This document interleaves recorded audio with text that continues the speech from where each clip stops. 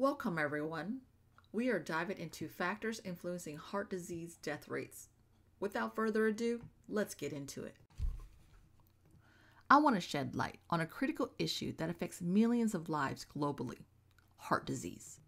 As we delve into this topic, it's crucial to recognize its significance. Heart disease isn't just a health concern, it's the number one death worldwide. In the United States alone, the numbers are staggering, surpassing even cancer and COVID 19 in the recent years. Heart disease remains a formidable adversary to public health. In 2021, it accounted for a shocking 20% of all deaths in the United States. Now, that's a number we can't afford to ignore. But what exactly falls under the umbrella of heart disease? It encompasses major cardiovascular diseases such as acute myocardial infarction, coronary heart disease, heart failure, and stroke. Now, let's shift our focus to a specific data we've gathered. This data zooms in on heart disease mortality rates among individuals aged 35 and above in the United States for the year 2014. It provides mortality rates per 100,000 people for each county for individuals dealing with heart disease. It includes factors such as gender, race, and geographical location. Through our research, we hope to raise awareness of how these factors can influence an individual's susceptibility to heart disease and ultimately mortality outcomes. In essence, this research isn't just about the numbers, it's about people. It's about uncovering insights that can pave the way for targeted interventions and ultimately save lives. We want to investigate why some people are more likely to die from heart disease than others. To do this, we'll look into three main factors. One, geographical location. We'll examine whether heart disease death rates differ depending on where people live.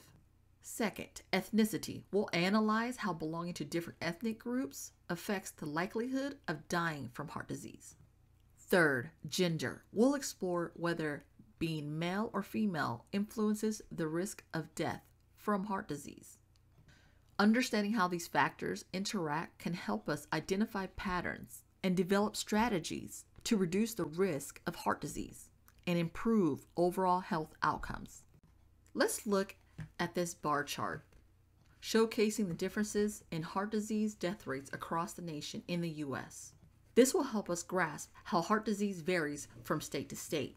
Each bar represents a state, and the height of the bar shows how many people have died from heart disease in that state. The taller the bar, the more deaths there have been. For instances, Texas ranks number one with the highest heart disease deaths, and coming in second is Georgia. On the opposite end, with the lowest heart disease deaths, is Hawaii and Delaware. We must determine which factors contributed to these extremes. We must determine if this information is influenced by quality of health care, income, lifestyle choices, resources availability, or etc. The mortality rates due to heart disease between genders. Look at this bar graph blue representing males and orange representing females. What's noteworthy here is the balance. The bars are almost the same height. Now, although the data seems well balanced, it doesn't mean that the risks are the same. Men who have lower estrogen levels, drink more alcohol, have more stress, and visit the doctors less can contribute to heart disease. Women who have menopause, less estrogen, autoimmune disease, and high depression and anxiety can also contribute to heart disease. To the left, we call this a box plot. The middle line in the box represents an average death rate from heart disease. The highest average deaths are black Americans. To the right, we have a bar graph. The tallest bar had the highest number of cases representing white Americans. On the other end of the spectrum, the shortest bar corresponds to American Indian and Alaskan natives. This visual comparison makes it clear that heart disease does not impact all communities equally, and some groups may need more targeted health interventions and resources to reduce their risk. This method is a common practice in research to help identify disparities and potential factors contributing to differences in health outcomes across racial lines. Thank you, Ty. Uh, now we're going over the histograms on heart disease mortality rate. These are histograms representing the distribution of a health-related measurement across a population, with most values clustering around the middle. The, the shape is bell-like, indicating a normal distribution. In other terms, it helps us identify what's atypical and what deviates from the norm. A bell shape is good, because that means we can go actually do some testing on it. It shows a range of death per 100,000 and shows how often each range occurs. The higher the bar means more deaths.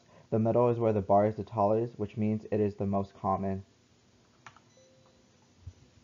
Now is the chi-square test. Uh, this slide might look a little bit mathy, but we'll break it down really easily. Uh, this table is a summary of what the statistics is called a, a chi-square, which helps us determine if there is significant association, in heart disease, mortality rate across the different categories that we have, which was gender, ethnicity, county, and state. The number measures how much the observed davia deviates from what we would expect by chance alone. Larger number means greater differences randomly what we see and what would occur randomly. The p-value itself is what's really important. This tells us whether the data it's uh, the data with the category has an association or if it's just chance. A smaller number suggests that the, uh, that it is associated and not just random. Let's look at the p numbers here. You can see gender is really small and ethnicity is very very small. That means there is association with deaths in the mortality rate for people over the age of 35. If you look at county and state, it is very close to 1, which means that there won't necessarily be a strong link there, and the data that we're seeing can happen to be random. Next, we did the z-test, which identifies the significant impact that each category could have. It is a method that tells the difference between the two groups, such as men and women, or black and white, to determine if there is a true difference. If it's negative, it means the number we're looking at is lower than average. A small p-value indicates that we should sit up and take notice. It's less like that it is will be less likely to be a fluke. Oh, by small we mean less than 0.05. Our studies show that women tend to have lower heart disease mortality rates compared to men. This is not a small difference. The number strongly suggests that female is linked to being a lower risk of dying from heart disease. When it comes to ethnicity, we see that not all groups are affected equally. Specifically, Hispanic and Asian and Pacific Islander populations are showing significantly lower mortality rate. And how about where we live? It turns out the impact of living in different counties doesn't show a clear pattern in heart disease mortality rate. However, when we go zoom and look at the states, there's certain states like Arizona, California, and many other significant numbers. To touch back real quick on counties, we didn't really test that much since it was a perfect 1.00000 with the p-value in the chi-square test, so that is not any significance there. So now let's look at modeling. The modeling we did was linear regression. We mainly focused on gender ethnicity since the previous test before showed where the biggest correlation was.